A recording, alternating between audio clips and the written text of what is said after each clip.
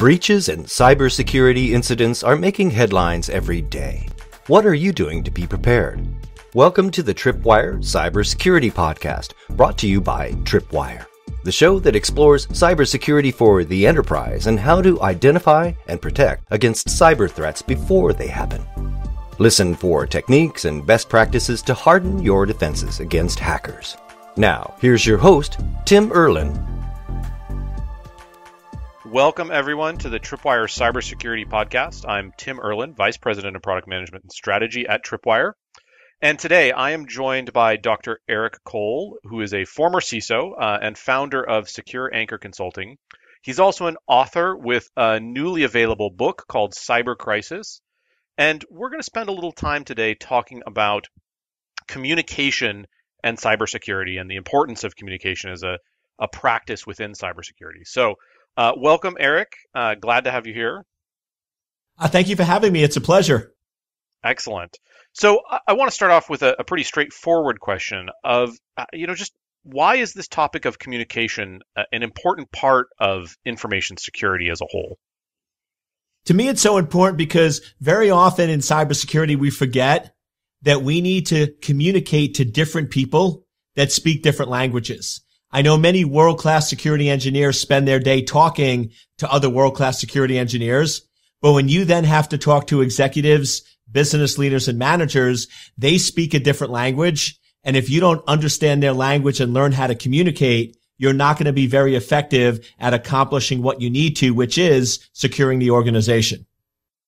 I'm personally, I'm kind of fascinated by languages and, and, the use of language. So this is a topic that's that's particularly interesting to me when we, we talk about these two disciplines, cybersecurity and business, having different languages, um, if you think about when someone shows up and talks to you about a topic and they don't use the right words or they don't speak with the right vocabulary, uh, you immediately give them less credibility. And so for the security folks, I think there's an aspect of credibility here, isn't there, when you're talking to to different constituents outside of cybersecurity?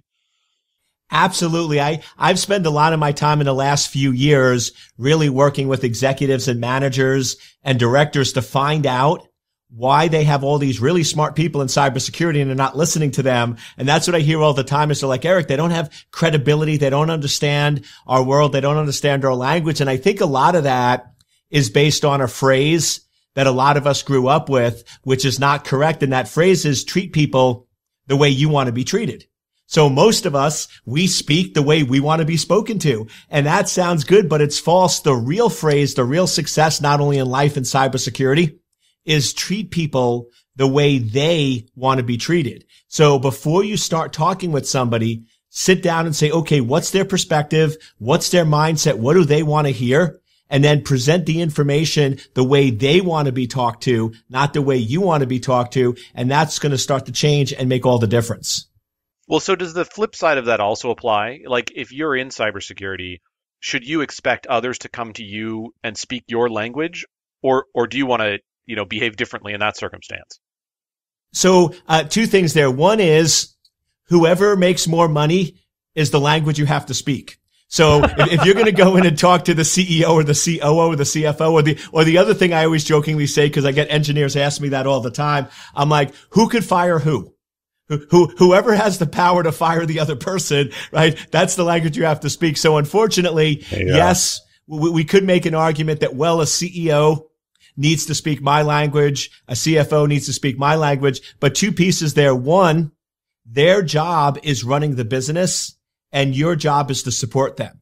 So technically you would need to learn their language. The other really important part is let's not underestimate how complex cybersecurity is. Many of us have been doing this five, 10 or 15 years. So we can't expect that a CEO is going to invest the time, energy or effort into doing that. So to me, that's really where that chief information security officer comes in is they need to be the master translator that speaks cyber, speaks business and can translate on the fly depending on which audience they're talking to. I think that's a role that, that, you know, more and more CISOs understand uh, is their responsibility. In the past, if you go back five, ten years, you know, the CISO was the the the most technical security engineer, the person who had who had sort of achieved all the unlocked all the achievements in security and gotten to the you know the the end of the game, if you will. But I do think that transition has largely occurred where CISOs today understand that their job is to provide that interface to the business in most cases. Do you still see CISOs who who who don't see that as their role? Is that still a problem in the industry? I still run across that, and I always I always use the phrase uh, "some, not all," or "most, not all." Right. So there are some CISOs that get it. They're they're spot on. They know that. But what I find is most organizations don't have a technical career track.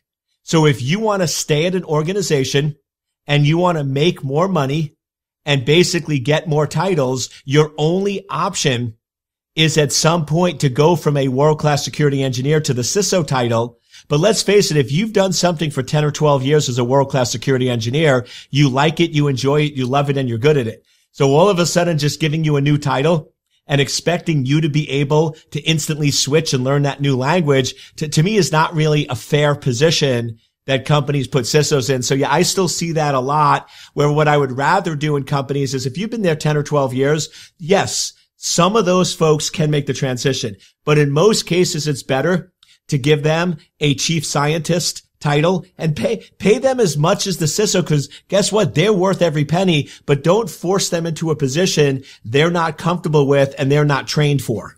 Hmm. I mean, the other option is that they, they leave, of course, you know, they go somewhere else, which is a, you know, we, we've, uh, you know, we talk all the time about the, the skills gap or, you know, the challenge of retaining and maintaining talent. One of the reasons that that's a problem for information security is because of that lack of a, a technical track.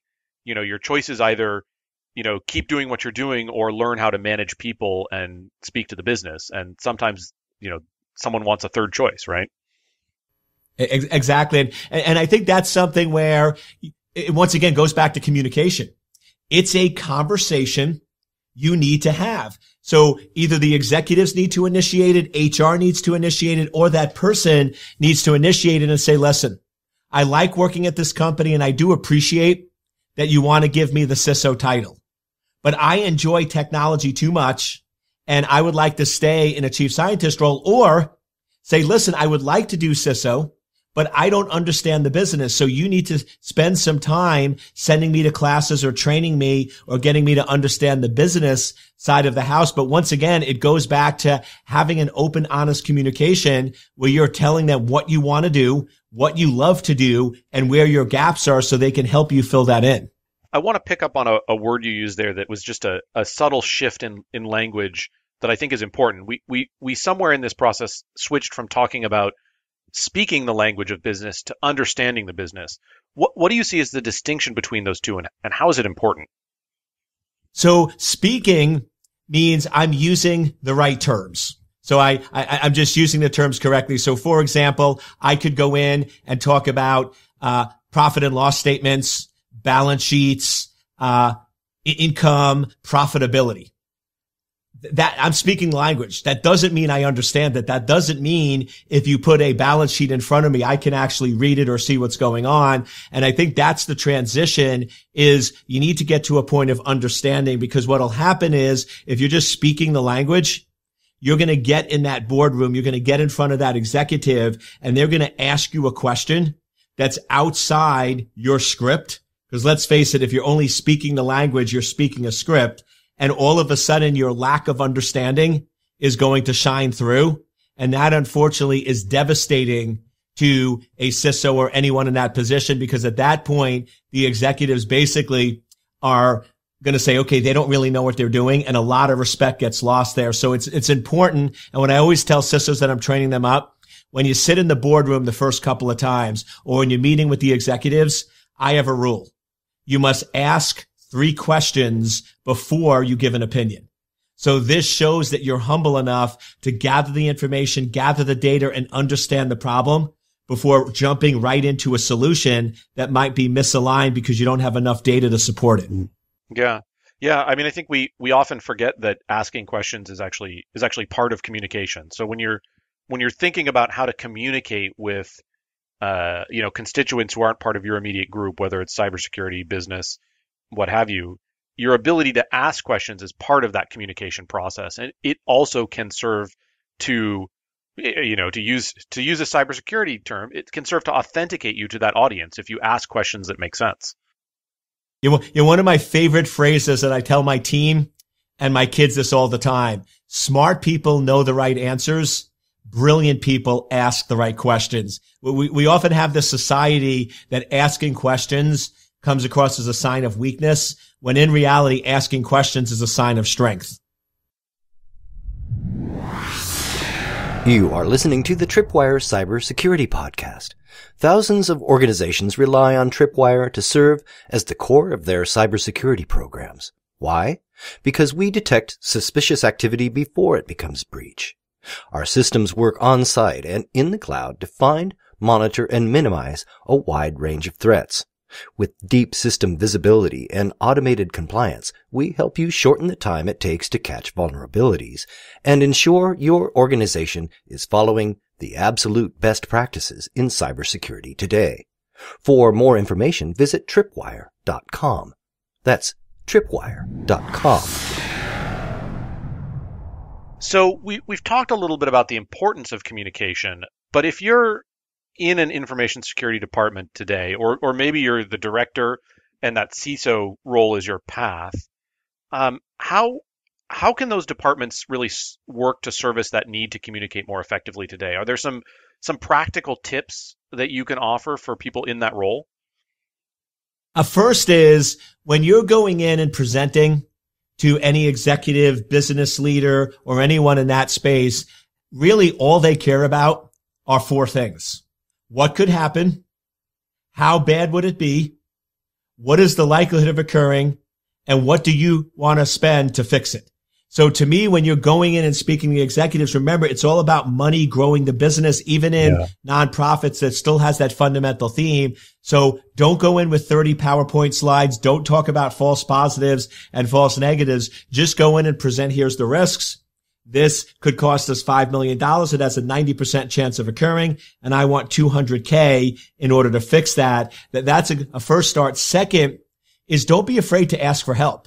Uh, what I tell everyone, if you're a first year security engineer, if you're a 10 year security engineer, or if you're a CISO, once a month minimum, you should be reaching out and meeting with somebody on the executive team whether it's a COO, a CFO, the auditor, the chief legal counsel. And the response I always get back from folks is, Oh, Eric, they're not going to take me up on the offer. They're not going to say yes. I'm like, if you don't ask, the answer is definitely no. Now, if you do ask, it might be no, but at least you'll know for sure. But I find most people are more willing to help than we realize. We just never reach out and say, Hey, can you help me? Well, and often people who've who've moved into that leadership position are, you know, in part they've moved there because they like offering that kind of help, you know, to a certain extent. So you're more, as you point out, you're more likely to get a yes than a no in those cases. Um, exactly. Yep. I, I, love those four things, so I want to go back to them um, because I think they were important. It's you know what could happen, uh, uh, what's the what's the impact? Is that the second one? Yeah. And then, what could happen? What's the impact? The monetary impact. Yep. The likelihood of that likelihood. happening, and then the cost to fix it. And I think in cybersecurity, we're really good at those first two, like what could happen and what's the impact. And we're we're often really bad at the second two. Um, the likelihood uh, and uh, likelihood in particular is a problem for cybersecurity because we, we we tend to focus on the what could happen, especially if it's a novel new threat, and we communicate that very effectively. Here's the thing that could happen, and here's how bad it could be. But we have a really hard time explaining, especially at a business level, the likelihood that it's going to happen right? And, the key there is don't overthink it because I have people go, I'm like 80%. They're like, but Eric, could it be 83? Could it be 84? Who cares? Right. What I'm really looking for is, is, is it 25? Is it 50? Is it 75? Is it 100? Right. You're just trying to get that general yeah. area of perception. Don't overthink it. And, and yeah, you, you nailed it. The problem is people will often go in with either half of the problem. So one thing some CISOs are really good at is going in of, oh, these are so bad. We could get hit. We could get hit. $5 million is so bad. They're so bad. But then we never give them a solution.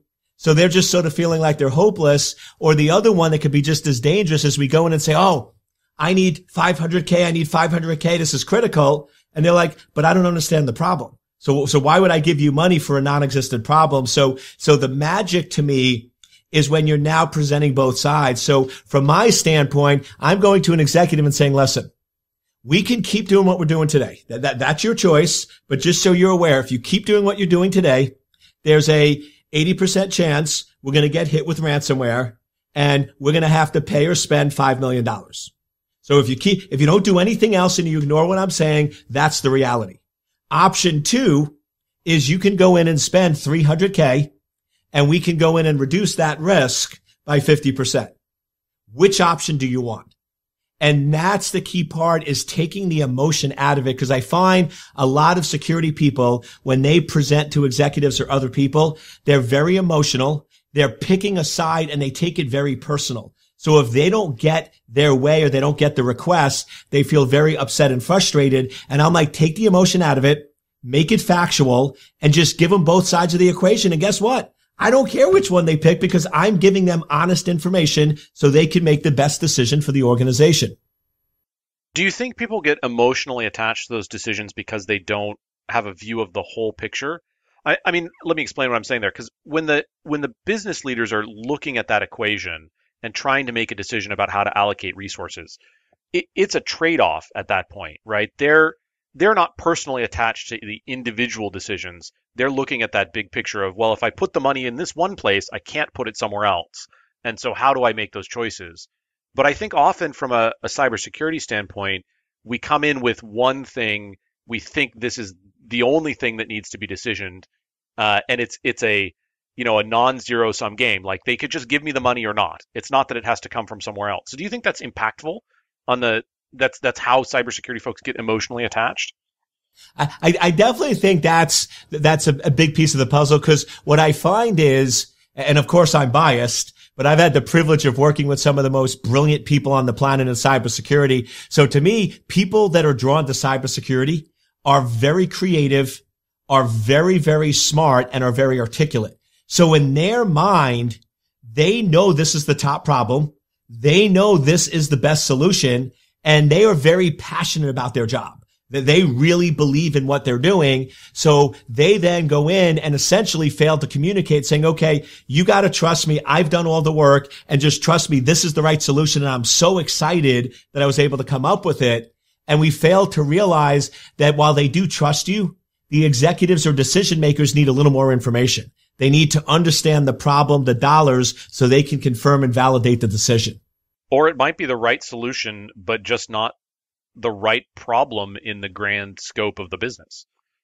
Exactly. And I, I think I think that's an important piece for the CISO because as a CISO, you're not just responsible for communicating those problems and solutions, those four things.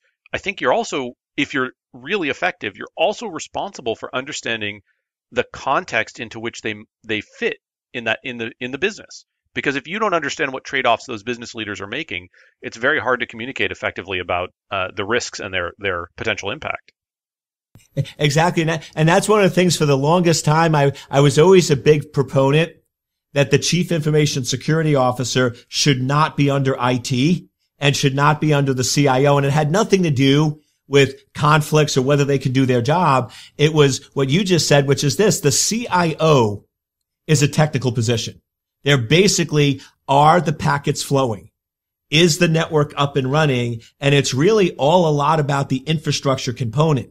However, with cybersecurity, it's not technical. It's a business based decision because every aspect of your business could and is impacted by cybersecurity. So it's sort of that business mindset. And I always do the CISO quiz with people and they say, Eric, am I a good CISO? And I say, we'll find out in 30 seconds. And I ask them five questions. What's your name?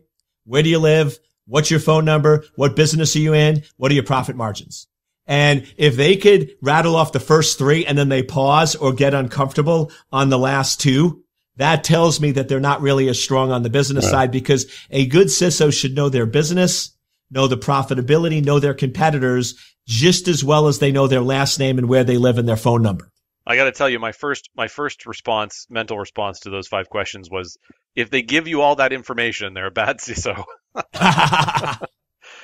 uh, so we we've talked about the importance of communication here, and I, I think we've we've covered that pretty well. I, I want to make sure that that you know the listeners understand you know why it's important.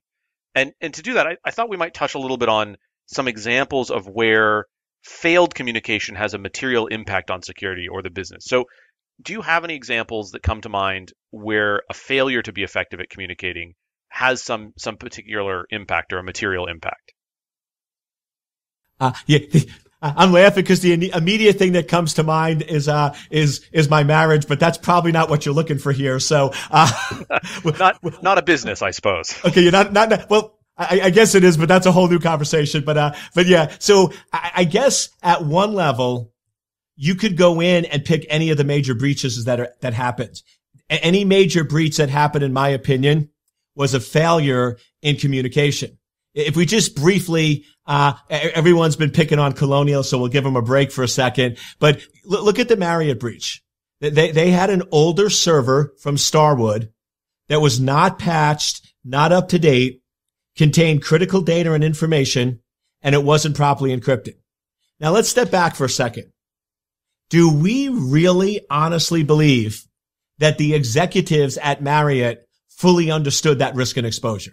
Because I'll be honest with you, CEOs and COOs are very smart people, and I cannot imagine that if they truly understood that they had an older system that was not generating revenue, that was out of date, and was going to make them be one of the largest breaches in the history of cybersecurity. And it would have been very easy and simple for them to take it down. They would not have made that decision. So to me, if you step back, that was a failure of communication. Nobody presented the data correctly to those executives in a way that they could understand. And nobody presented the dollars to them saying this is how bad it could be. And in this case, what amazes me in that Marriott breach, it's we have something that has a 95% chance of getting compromised. If it does, is going to cost us $30 million. And our solution is a thousand dollars because literally it was just unplugging the system. There wasn't a whole lot there. So, so to me, that's sort of a, a more global example of poor communication. But, but I'll give one from my personal life. Early on in my career, I went in and I started after the CIA. I was working at a company and I believed that they needed a firewall. Now this was in the, in the nineties. So it was still early days. And I was convinced beyond a shadow of a doubt that I needed to have a firewall in place. So I went to my boss and what he should have done, which is what he did, which is, is Eric, you didn't present any empirical data or information in order to do that. Being the young cocky person I was, I then went around him to his boss and presented the same information. And that person gave the same answer. And I went around that person. So essentially I went in without proper communication, pissed off everybody in my career chain. And after that, I was like, you know something? I, I need to learn from this. So now whenever I talk to somebody and I present something and they go, Eric, I don't think that's the right option or solution. I always ask a simple question. What additional information do you need to make a different decision? And very simple. And it's very powerful because what I'm basically saying is I recognized I failed at communication. Can you help teach me what I can do to communicate better in the future? Yeah, you're touching on an important concept for me as well, which is that um, you you you can't control what other people understand. You can only control how you communicate. And so Boom. this idea that it's someone else's fault for not understanding, uh, you know, you, you have to shift that to I need to change how I'm communicating to be more effective. And it, it just changes the way you approach conversations. Exactly. And, and, yeah. and another one, not going uh, too off tangent, but just giving advice to the listeners. The other thing I learned, and it's a hard one, is I am 100% responsible for everything that happens. So if something goes wrong or I don't get my way and I'm the CISO or I'm in charge of the company, it is my responsibility. It's not my fault, but it's definitely my responsibility to fix it. Yeah, it's a very a very existentialist point of view. I can lean on my uh, my undergraduate philosophy degree there and point that out. so, uh, you know, I want to touch the the Marriott breach you, example you gave is a is an interesting one because you you implied there that uh, the the security folks knew about that risk and didn't communicate it effectively. Um, and you know, we obviously can't know the the details of, of every breach, um, but this idea that that you know, if you know about the risk and you don't communicate it effectively, that's a pretty clear communication problem. But there are certainly situations in which you know security didn't know about the risk, and that's a that's a different problem, right? Exactly. And you might not agree with me. Like I said, I, I, I sort of put, push the envelope on, uh, on some of your uh, stuff you learned in your undergraduate degree on, on philosophies. But to me, I look at it as if it's something you should have known about if you either asked the right questions or did the right test or communicated with the ah. right people, then I still consider that a failure of communication on yeah. your part. It's yeah. not, it, it, we always think of communication as sort of over communicating, but I believe under communicating is also a communication failure. Yeah, you can bring you can bring it right back to the you know the the comment I made earlier about questions being part of of communication. So yeah, if you didn't ask the right questions to get that information, sure, communication failure makes sense. Excellent. All right. Well, uh, um, Dr. Eric Cole, thank you very much for joining us. I think that was a, a super interesting conversation and hopefully um, interesting for our, our, listeners as well. I really appreciate the time. And I My- look forward to uh, your your newly released book, Cyber Crisis. Uh, sounds exciting. Um, and uh, thanks again for joining us. My pleasure. Thank you for mentioning my book. And thank you to all the listeners who joined us. Um, hopefully, it was uh, an interesting episode for you, and you'll join us for the next episode of the Tripwire Cybersecurity Podcast as well. You have been listening to the Tripwire Cybersecurity Podcast. Join us next time as we explore stories of people protecting people and techniques and best practices to harden your defenses against hackers. We'll talk to you next time on the Tripwire Cybersecurity Podcast.